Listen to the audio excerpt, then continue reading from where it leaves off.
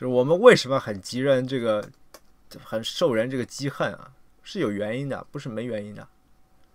啊，那些什么路人粉这个东西不算什么的，一切这只是一个路路人黑，他因为不了解我们现实的，不了解我们现实做过什么。啊我刚我跟你讲，你还说什么涉嫌违法那个举报？那个举报是有人专门去民政部举报的，到部里面去举报的。啊，你说这个什么涉嫌违法，是有一些王八蛋，他到部里面去举报，到部里去举报的。啊，去部里举报，然后他去去到民政部举报的东西，不得已。他不得不，他省内是要通报的，是要发通报的，因为他已经是到民政部举报，他向民政部递的材料。那么，在那个通报发生之前，我都没有被民政局调查过，所以他说的是我涉嫌违法，但是他甚至都没有调查过我。这个我可以很公开的、明确的跟你们讲，这些人是打击报复我，是有目的的。某某人啊，是有目的的打击报复我，然后是举报到民政部，举报到中央部委，所以他省里不得不通报，他要去交差啊，不得不通报啊。然后在省里面通报这个情况之前，我都没有被苏州市或者吴中区的民政局调查过，我没有被调查过。他都没调查，怎么说取缔我呢？怎么说要求我解散呢？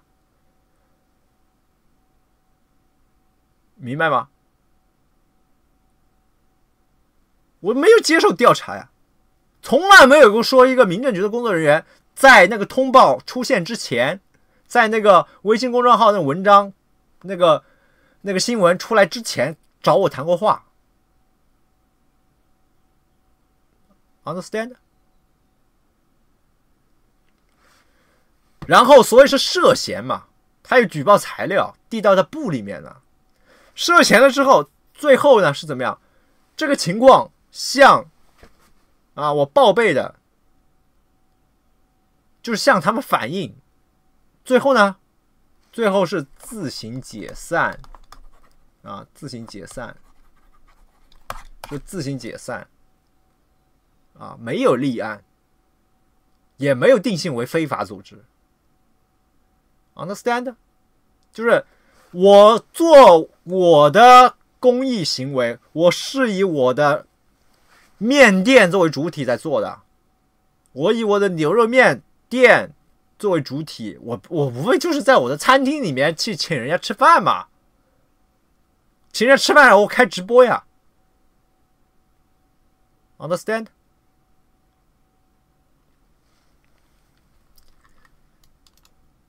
所以说，打击报复我的人，现在这这几个人，我们都不是这群人了，我们都知道具体是哪几个人了。这几个人现在还在做，啊，现在还在做，还在搞。这几个人好几个是所谓的退网了的，退网了的，在网络上臭名昭著，退网的，销声匿迹的，不敢公开存在的。啊，他现在还在搞，还在炮制材料，还要去举报。据我们了解到的情况，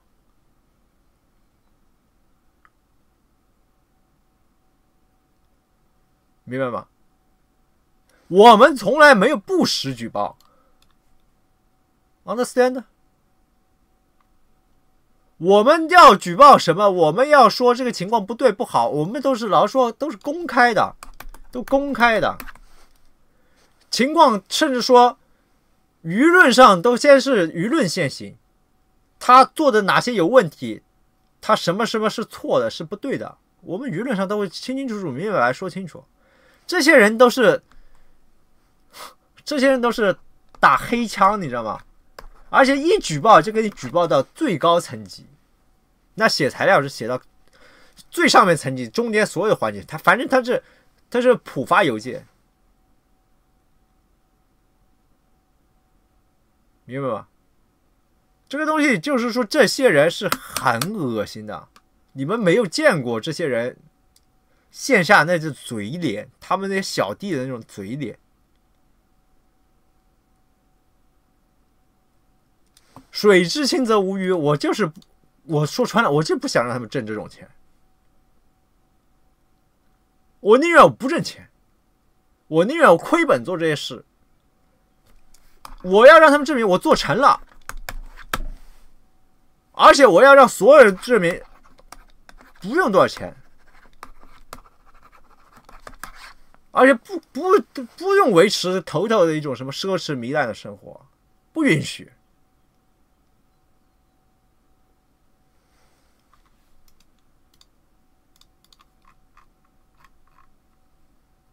明白吗？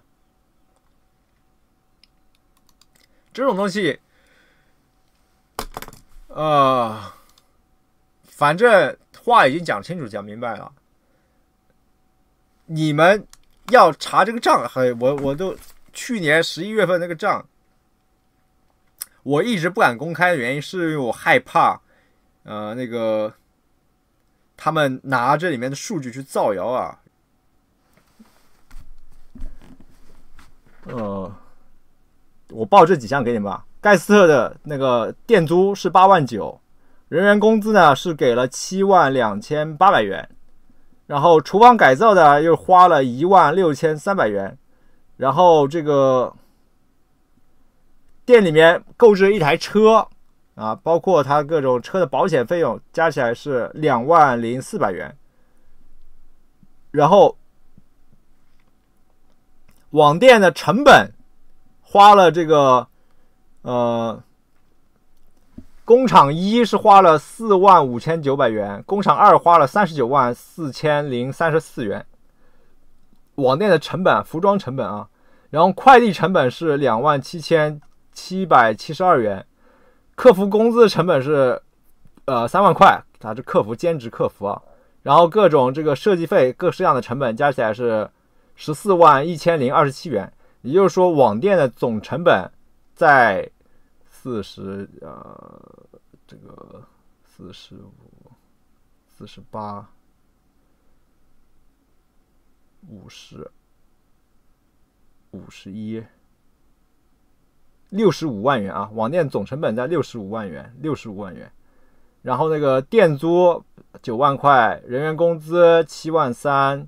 反正这个东西，哈姆拉汤店里面的那个成本是在十，在二十万元啊，二十万元左右，啊，二十万元左右，啊，十八万、十九万吧，十九万，这个三万、三万，十九万元，十九万，那二，我操，六十五万加十九万，七十，八十四万了，然后员工宿舍。这个成本加在一块是这个，呃，一个房租是，呃，宿舍一的房租是只交了几个月啊，一万四，宿舍三的房租，宿舍二房租八千七，宿舍三的房租四万四，装修费两万一，家具费八千四百三十七，电费一万两千九百三，网费两千四啊，店里的网费两千四。这些加起来可能又有个我操，好烦呀！十万块钱，这里妈他妈的已经九十四万了。然后那个呃小屋爱心小屋的就文具店的房租又两万块，两万三千七百五十七。然后呃这个营养费啊，给小朋友的营养费在四千五百九十七，人员工资一万六千六百。然后改造费、杂费又是六千二百一十七元，这个是小屋里面的支出，就差不多是在五万块钱左右啊，五万。我操，啊，这一百零五万了，我也算不过来了，反正已经一百多万了，你妈逼啊！然后爱心小屋的这个收入啊，收入实求讲这个。做牛轧糖饼干呀，做托管，托管收费全年就收了一万两千四百一十七块钱，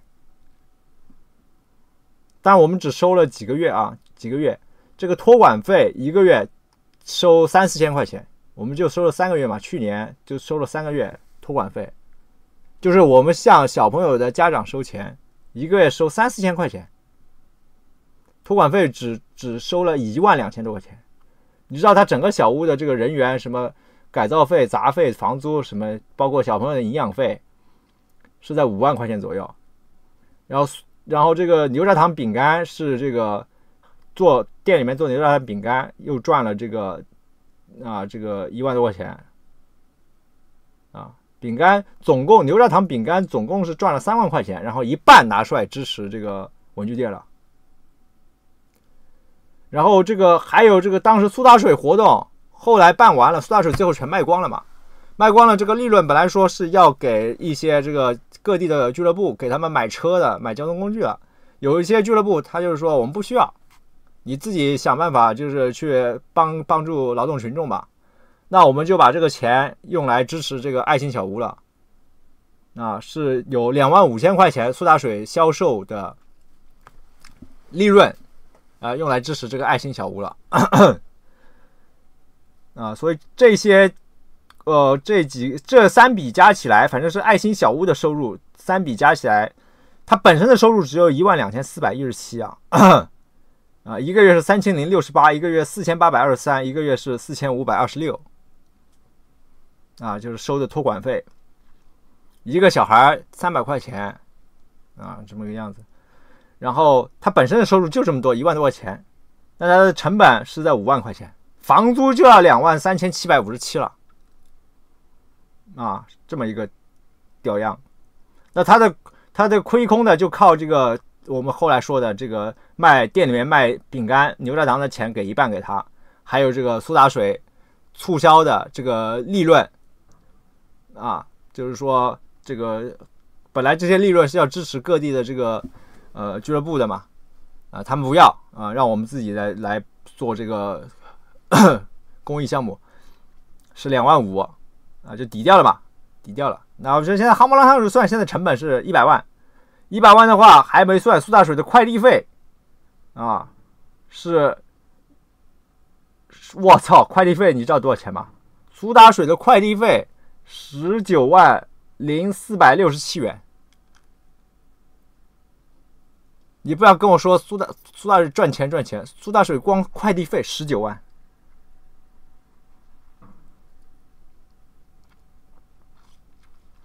说的是光快递费啊十九万啊，十九万零四百六十七元，我一个个给你念啊啊，第一个月八八三三幺，第二个月幺幺三三四，第三个月七六四五，第四个月七九零零，第五个月九二七五，第。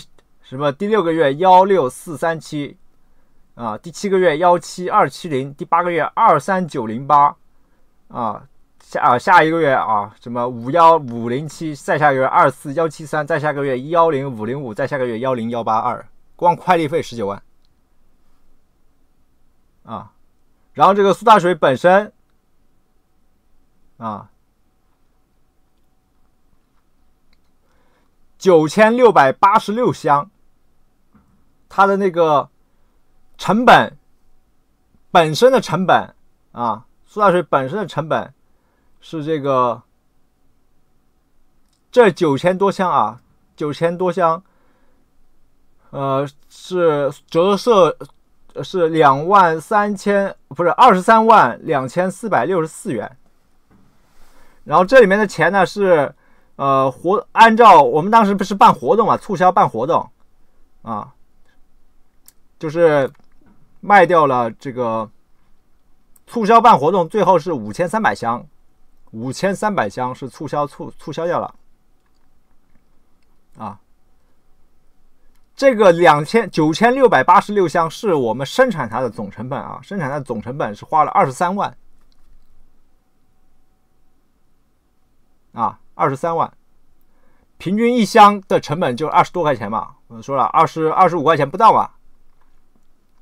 啊，然后我们在这个最后的时候，就是促销的话，总共是促销掉了五千三百箱，其中促销活动本身赚的钱到我们自己呃，就是说是四千箱，然后有购购买了去支持各个小组的啊，各个俱乐部的，现在叫俱乐部的是购，他们就一千三百箱。然后我们按照规则的话，是最后是要拿出五万块钱来给这个这些俱乐部去啊购置生产资料的，买车啊或者买什么的，五万块钱给给给你们就买电瓶车啊什么这种东西，或者购置一些厨具啊啊这玩意儿。然后最后呢，大家只领了一半，各个俱乐部他们就领了一半，是领了两万五千零三十一块钱。然后我们凑个整呢，是给小屋是支持了是两万五千块，两万五千块。所以这你算到这个时候，我们的成本就已经一百二十多万了，就已经是一百四十多万了，你明白吗？这个时候你算到快递费十九万，然后呢做这个苏打水本身的这个成本，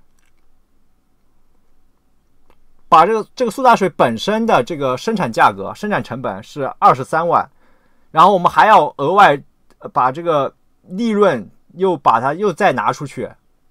赚到的利润里面的五万块钱拿出去，那就是二十八万，再加上十九万，那是这里面的就是四十七万。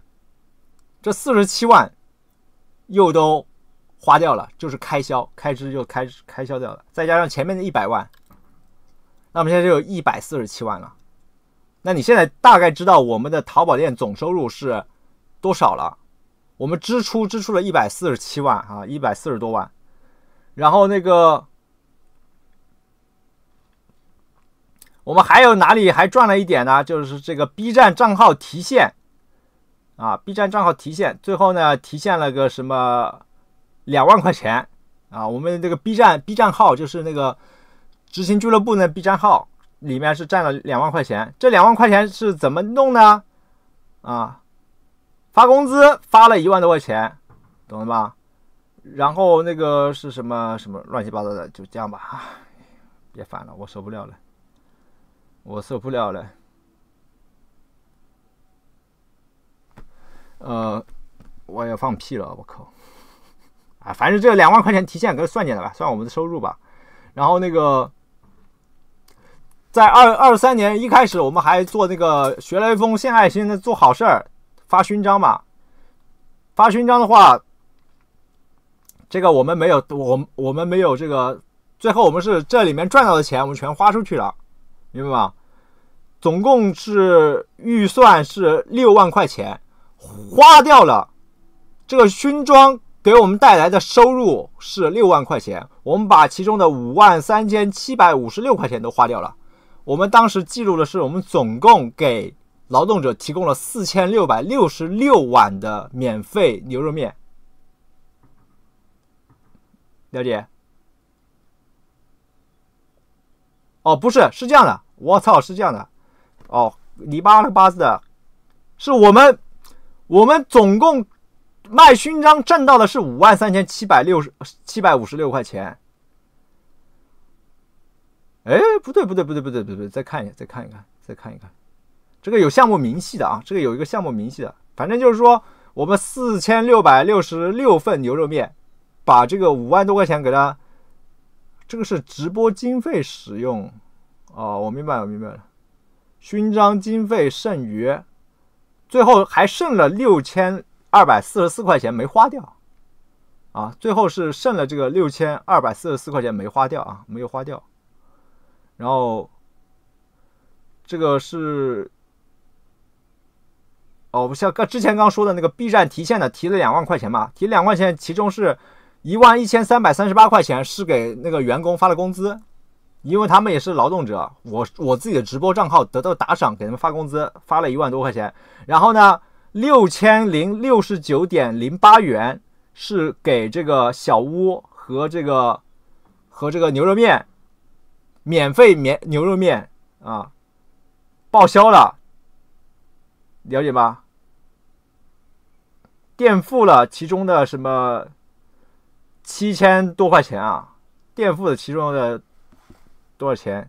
然后最后剩余剩余两千五百块钱是用来这个，当时这个爱心小屋就晚托班我们刚接下来，剩两千五百块钱，直播提现两万块，最后剩两千五百块钱，其中一万发的工资啊，九千多块钱是抵抵掉了，抵掉牛肉面什么这些东西的，然后还有这个小屋改造的，还或者他房租的。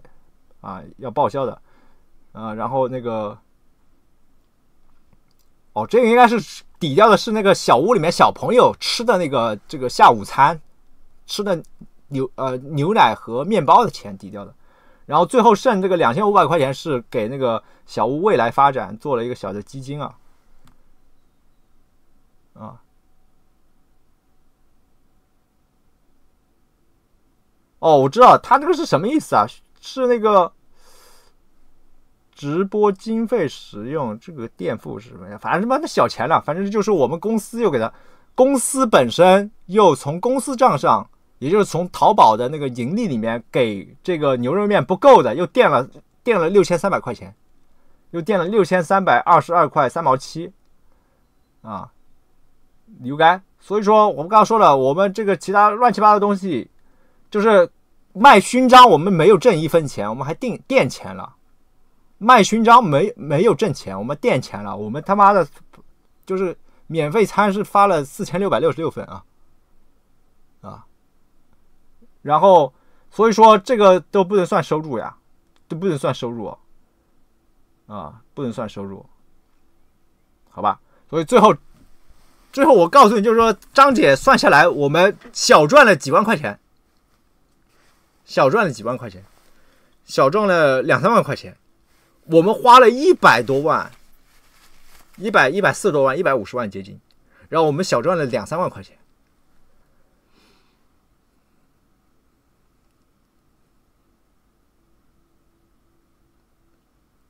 明白吧？就是说，而且这个是很勉勉强强达到的，我就报一个，就是说这个。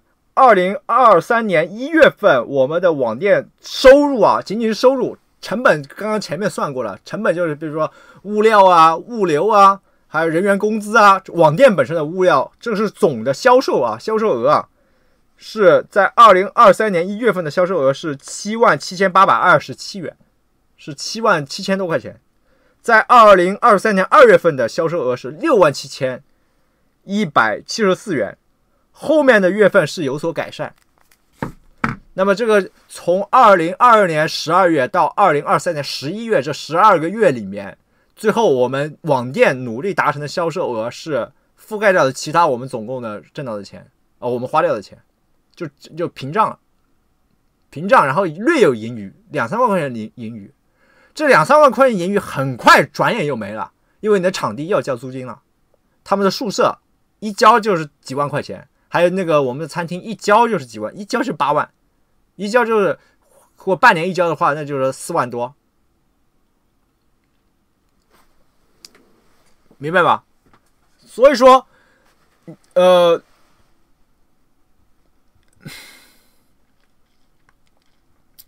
所以没什么好说的，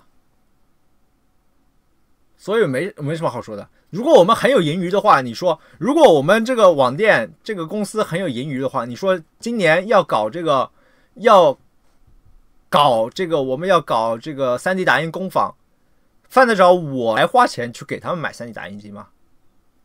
四台 3D 打印机只报销了一台，明白吗？还有一些材料费是我们自己的，这个我们的这个项目项目总监啊。在自己掏钱，还有的还没报销，犯得着我来掏钱吧。公司账上没钱，我的直播收入，我我赚的钱，我还要给他们去购置生产资料。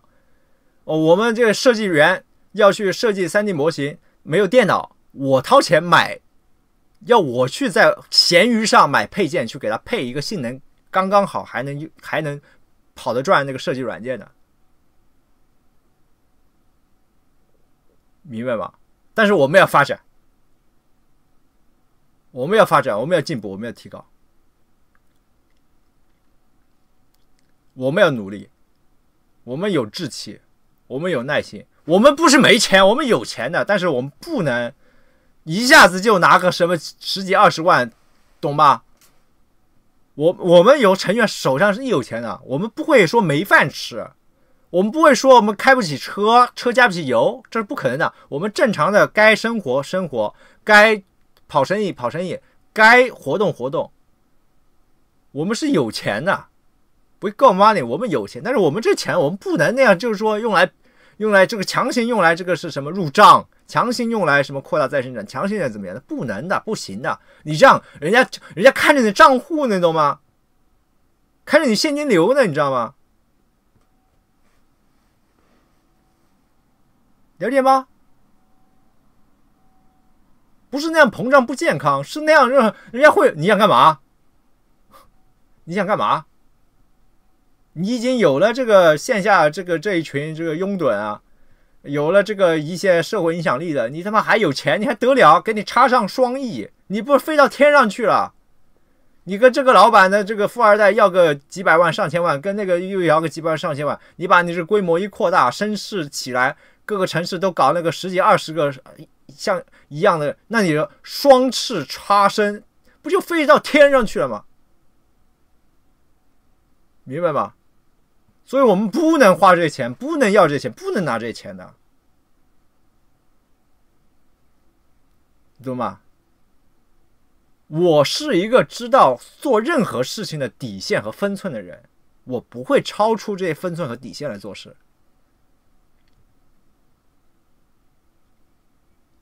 我一个平这个民间草民哎，而且说在舆论上我被很多人抹黑、诬陷、造谣。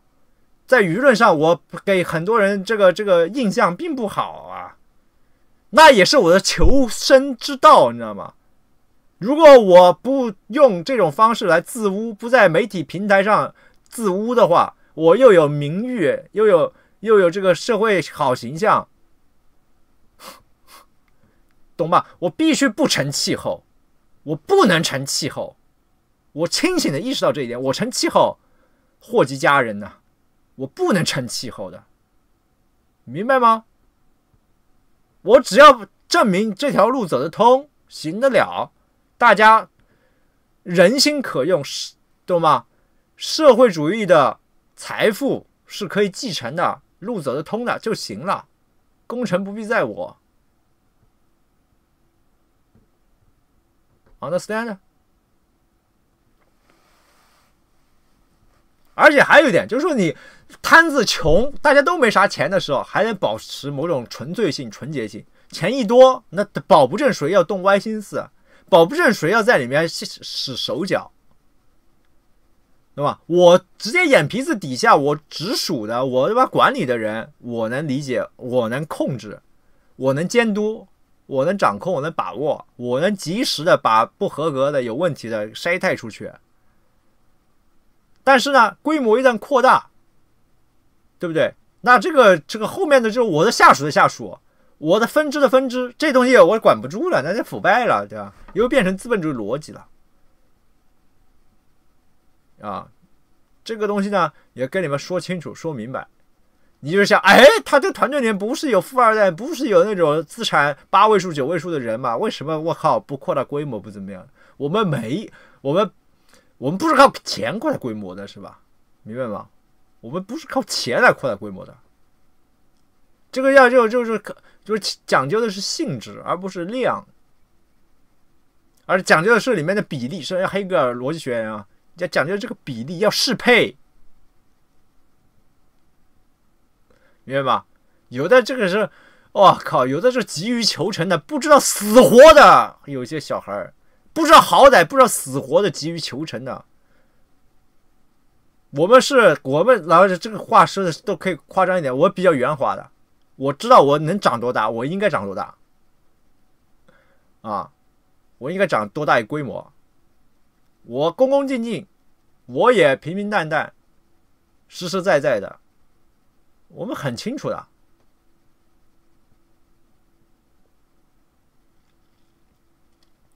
你们没有。现实的线下活动经历，没有和那些什么乱七八糟、很肮脏、糟糕的那些那些激进团体过过招，你不知道这里面深浅的，不知道这里面轻重的。你的一生的对手啊，就是很荒诞的、很荒谬的。他不是就是说坏，就是很荒诞，是吧？很抽象什么的存在，很烦。啊，所以我们解决处理这些问题，是哎，有的时候就是说，呃，这叫不不是不当家不知柴米贵了，这个不当家不知豺狼豺狼这个豺狼邪恶啊，豺狼坏啊，明白吧？这个这这个这个东西很烦很烦，而且我们始终我们认为，我们这些受到不是官方的，不是政府的打压，以各种方式罗织罪名的迫害陷害我们，是一些。毫无底线的、肮脏堕落的一些民间团体、民间个人、民间团伙，是这群王八蛋，明白吧？国家政府其实很多很多情况下是给我们保驾护航的，是在帮助我们、鼓励我们发展的，但是会有误判啊，会有一些就是说啊。你要有领导处理很多问题，就看一眼报告啊，说不定就下面基层人人士他知道，知道我们其实情况不是那样的，他要帮我们就是把情况说清楚、说明白啊，说我们非常感谢的。但是就会有那种没有底线的、丑陋的、肮脏的人，百般污蔑啊，百般去造谣、诽谤。而且各个条线、各个部门，懂吗？什么他们都写的，你就说说的清、说的点的点得出来，一般老百姓点得出来的政府部门，都有他们交的各种举报材料，这不是疯了吗？这不是疯子吗？你明白吗？我没有个脾气，我没有个好脾气，我有的时候对于一些网络上的一些人没有好脾气，是为什么呀？他们。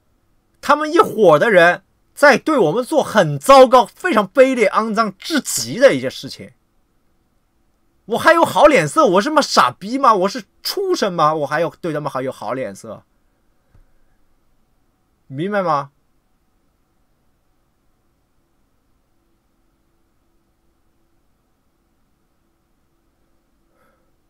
你去看看那个什么。你你你们去看看那个什么什么大群里面有一个冒充我的那个人的签名写的什么东西，你们就知道了。不，这些人，我就我又没话说了，我好吧？他不是想做这个位置，他是说，现实当中我们在很努力的、很执着的去追求实现我们的理想，去按照我们的理想标准在生活着。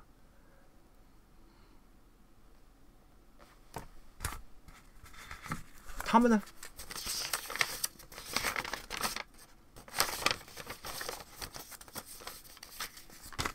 哦，是大舞台啊！你看大舞台里面冒充我的人写的什么东西？哦，那个大群里面也有冒充我的人在里面发过东西的。你们自己去看，都什么东西？所以我有的时候，我我我有的时候愤怒，我很愤怒，极为愤怒的。我不知道活在什么样的这个一个历史传统、社会背景当中，会有这样的这种敌手、这种敌人、这种骚扰污蔑者。难以认、难以难以理解、难以认同的一个。一个那种氛围，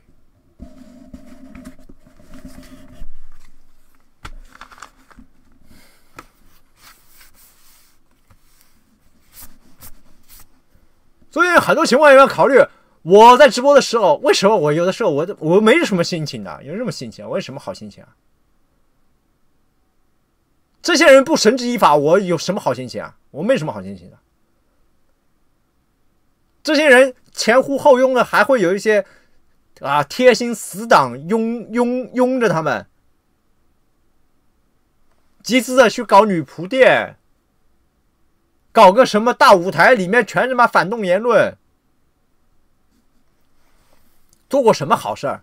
现实的做过好事没有？帮助过没有？帮助过劳动群众没有？具体的、现实的、大批量的。组织起一个团队，努力的去帮助劳动群众，有吗？实现你的所谓的理想，有吗？我这样做了，我们这样做了，我们努力这样做了，然后呢？啊，就被你们打击、报复、诽谤、造谣、污蔑。这个什么时代啊？或者说这个时代，我觉得没什么问题。这这群人是什么什么个存在？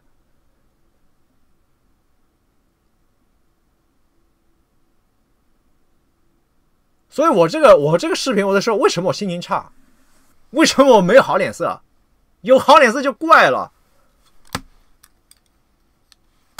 我遭遇这种东西，我有好脸色我就怪了，还叫我赔钱？我靠！